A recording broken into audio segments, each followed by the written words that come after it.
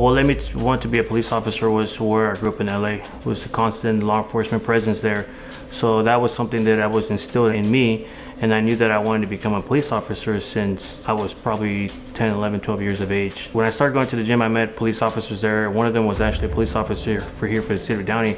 And I actually went on a ride along with him and I knew how the community was with their police officers compared to where I used to where I used to live in LA. People were very friendly here. They, they appreciated their police officers. It was very welcoming and it was something that I really wanted to do is patrol this city, city of Downey where I grew up. I came from another agency and I chose Downey because it was a smaller agency, kind of what I came from, but it was very family oriented and it still is like, I love that about this department. The community is very close with the department. We work a lot with the community and it just makes me feel more at home. There's something for everybody here at the Downey Police Department, which is why I chose to come here. There's a lot of opportunity and there's so many things out there that you can be a part of.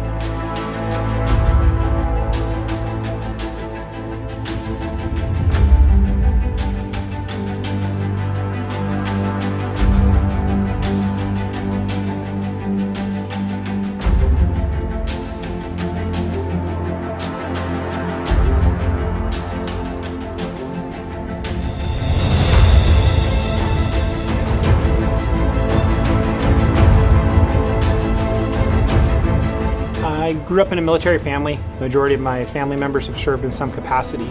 My father's parents were World War II sweethearts.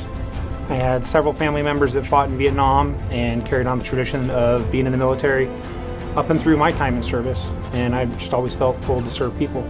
I look at it as a family, and I see a lot of parallels between that and my time in service. And a lot of the relationships that I have with my police officer brothers and sisters are similar to the relationships that I have with my military brothers. For me, being a police officer in Downey has been a fantastic transition. I've been very fortunate that it's been a continuation of a lot of the things that drew me into military service, but now on the civilian side, it allows me to continue giving back to a community in the way that I think I'm best fitted to serve people and help them through their times and needs. The city of Downey appreciates their police officers. For me, it's a big deal because it makes you want to go out there and do a job for the community who actually supports you. Now, at the end of the day, we're here for them. I get to go serve something that's bigger than me. I get to hopefully have an impact on the next generation of kids.